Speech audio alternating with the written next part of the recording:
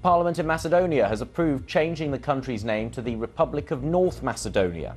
Prime Minister Zoran Zaev secured the two thirds majority he needed by just one vote in the face of a boycott by the opposition nationalists. The move clears the way to Macedonia eventually joining the EU and NATO.